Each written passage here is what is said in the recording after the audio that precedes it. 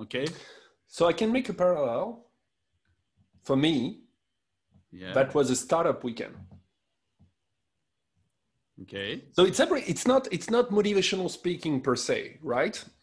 but for me, I put it in the same way because what you were just saying, explaining, it's exactly the same thing.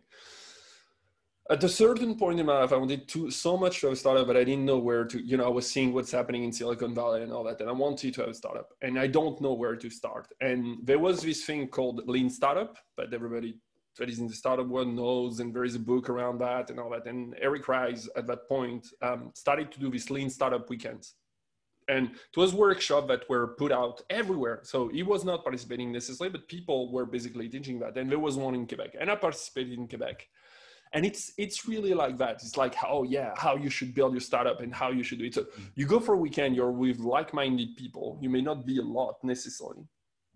You're with like-minded people and you go to build a startup for like a weekend. And you you go out of a weekend you're super pumped because you did stuff that you will have never done. Except that it's a bit more practical maybe. I don't know certainly. Um, Mhm. But it's it's i will i will relate like that you know i was in this mindset where i needed this thing but i didn't know where to start and i wanted it so much that for me it was a way to get it Mhm. Mhm.